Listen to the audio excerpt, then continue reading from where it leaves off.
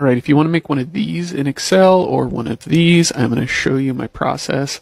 Surprisingly easy to do this, but it's not a built-in Excel chart, so a lot of people just don't realize it's possible. Let me show you. So the secret to doing this is having the same set of values twice in the same table. So we've got our dates, and then we've got sales, and we've got sales again.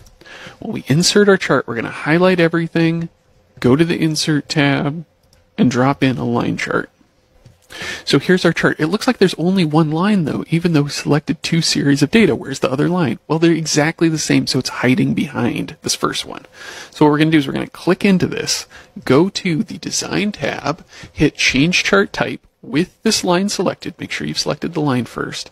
And under that, we are going to go down to 2D Area Chart and select that. What this has done is it's created two separate chart types, but they're both plotting the same data, so they're always going to align perfectly.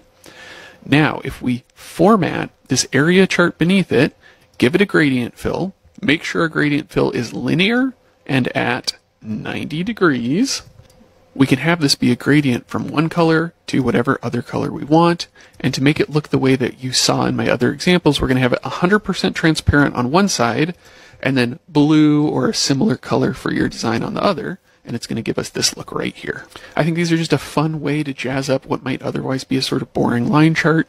And it can also be used as kind of a fun hybrid between a line chart, which has certain advantages, and an area chart, which has other advantages from a data visualization perspective.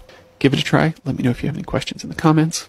And if you want this template or any of my other templates, check out the link on my profile to my newsletter. I send these out for free so that people have a something they can follow along with and look at while they watch these tutorials. Thanks everybody. Have a good one. Bye.